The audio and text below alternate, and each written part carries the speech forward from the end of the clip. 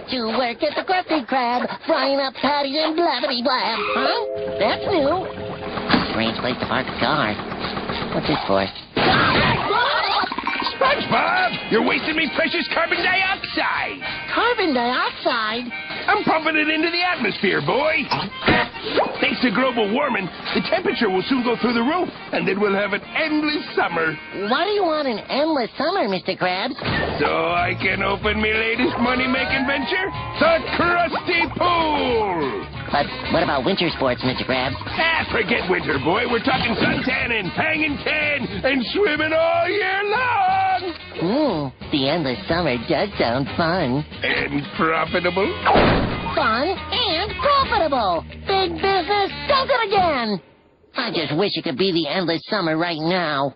Hey! Oh, umbrellas are three dollars, sir. Oh, what a bargain! I'll give you five. what the barnacles? It suddenly got very warm in here. Who turned up the heat?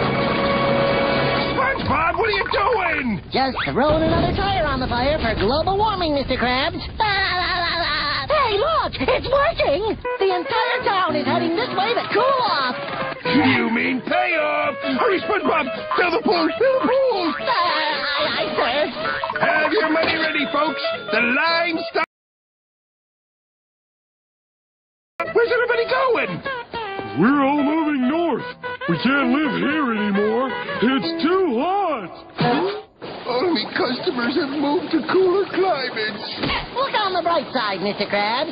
There won't be a line to go in the pool. Cannonball! Ouch.